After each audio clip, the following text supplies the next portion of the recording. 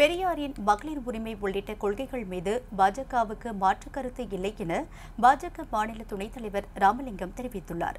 சேலத்தில் செய்தியாளர்களை சந்தித்த அவர் கோவில்கள் முன்பு மட்டும் கடவுள் மறுப்பு கொள்கை வாசகங்கள் இருப்பதை பாரதிய ஜனதா கட்சி ஏற்றுக்கொள்ளாது என கூறினார். பெரியாருடைய நல்ல கொள்கைகளில் எங்க பாரதிய ஜனதா மிக தெளிவாக இருக்கு. நாங்க பெரியாருக்கு எதிரிகள் அல்ல. பெரியாருடைய அத்தனை கருத்துக்களுக்கும் எதிரிகள் அல்ல. பெரியாருடைய வாழ்க்கைக்கு எதிரி அல்ல. அவர் சொன்ன கடவுள் மறுப்பு கொள்கை. அதை இவர்கள் மீண்டும் மிகைப்படுத்தி. தமிழன் ஒரு காட்டுமிராண்டி என்று தமிழ் பாஷை ஒரு காட்டுமிராண்டி பாஷைன்னு கூட சொன்னாரு.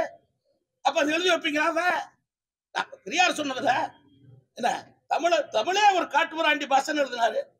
நீங்க செம்மொழி மாநாட்டில் அதை வைக்க வேண்டியதானே? பெரியாருடைய கருத்து.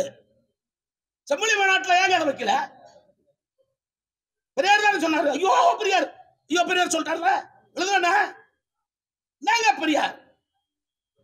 அவர் சொன்ன கருத்து அதுல இருக்கிற நல்ல கருத்துக்களை நாங்க வரவேற்கிறோம். ஆதரிக்கிறோம்.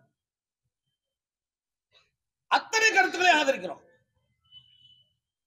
அவர் வந்து சமூக நீதி கொள்கை சொன்னாரு. தாழ்த்தப்பட்ட மக்களுக்கு இதுன்னு சொன்னாரு.